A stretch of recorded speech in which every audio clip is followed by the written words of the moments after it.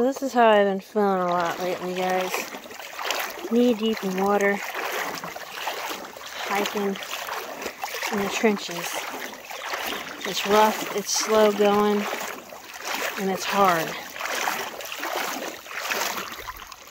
But look, off in the distance, there's a bank.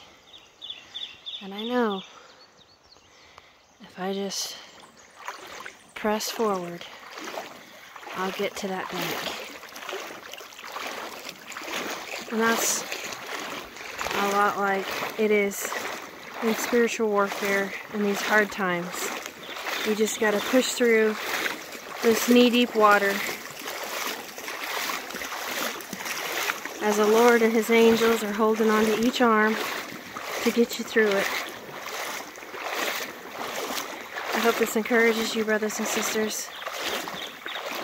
The Lord has been very merciful to me lately and has helped me a lot through a lot of things recently. So, I love you guys. Take care.